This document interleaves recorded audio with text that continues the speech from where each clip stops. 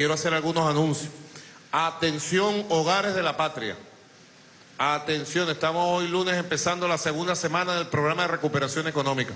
Hemos fijado el anclaje del Bolívar soberano en 3.600 bolívares. El anclaje del salario mínimo nacional en medio petro, 1.800 bolívares. Hemos ido estabilizando y fortaleciendo el sistema nuevo cambiario con el DICOM. Y bueno, haciendo respetar los precios acordados y llevando a pulso los nuevos equilibrios que deben establecerse.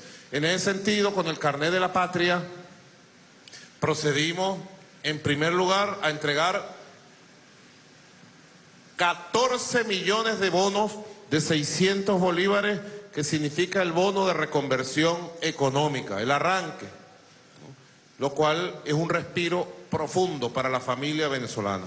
Pero a partir del primero de septiembre, atención hogares de la patria, a partir del primero de septiembre entra en vigencia la nueva tabla de subsidio directo y apoyo a 6 millones de hogares de nuestro país. Quiere decir mujeres jefas de hogar, hombres jefes de hogar, el 80% son mujeres pero el 20% de hombres nos dignifica, ¿verdad? El género.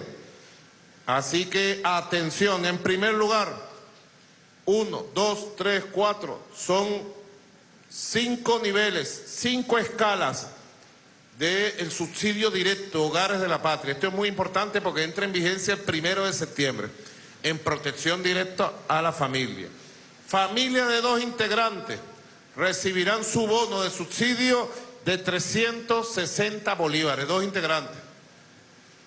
Una madre y su niño chiquito recibe su bono de subsidio de 360 bolívares. 360 bolívares es una décima parte de un petro.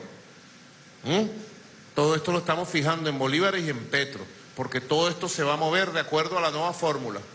Cuando tengamos que mover el salario mínimo, lo moveremos todo de acuerdo al índice de inflación real y al movimiento de la divisa extranjera en el sistema de ICOM.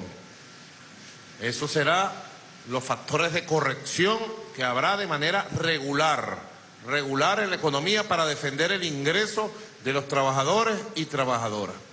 Así, y defender los bonos del carnet de la patria. De estos 6 millones de familias, una familia integrada por tres miembros, 550 bolívares. Una familia integrada por cuatro miembros, 740 bolívares. Todo esto fijado en Petro, además. Aquí tengo la tabla. Una familia de cinco integrantes, 930 bolívares. Y una familia de seis integrantes o más, 1.120 bolívares. Hogares de la patria, protección con los CLAP, protección con los bonos y protección integral, mis queridas familias de hogares de la patria.